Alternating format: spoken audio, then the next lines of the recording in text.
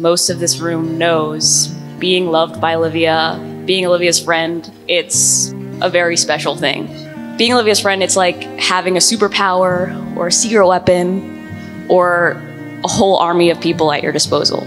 She is the most understanding, generous, loyal, resourceful person that I know.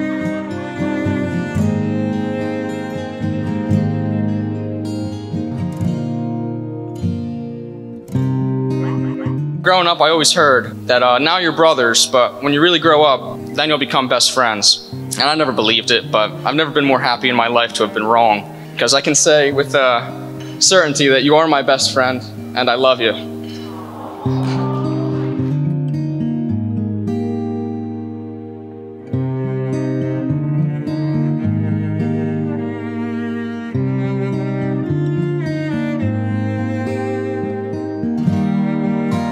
Say that Paul is a hard worker is an understatement. To say that Paul treats Olivia with kindness and tenderness and love and respect is an understatement. As a father, I couldn't ask for anything more for my daughter.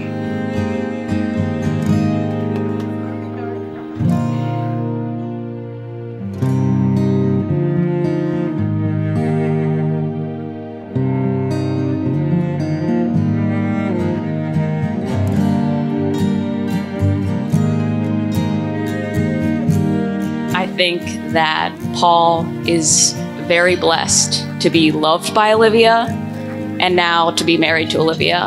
And I'm so glad that Olivia has found someone who seems to love as fiercely and unconditionally as she does.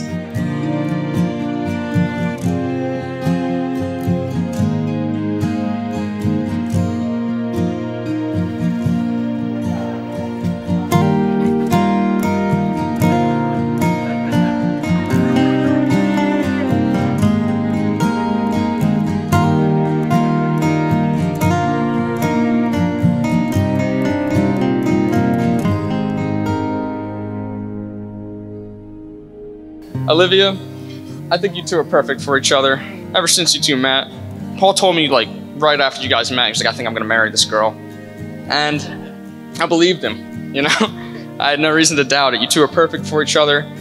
You're a great friend and now a, a great sister to me. And I look forward to all the memories that uh, we're gonna make together as a family.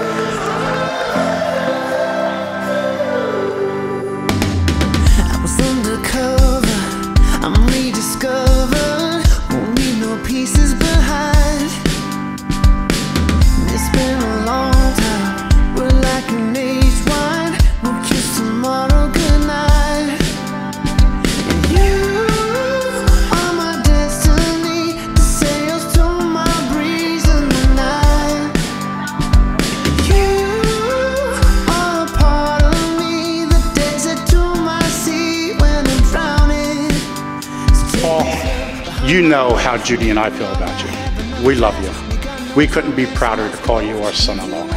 I would just like to ask everyone here to please raise your glasses. We love you. God bless you.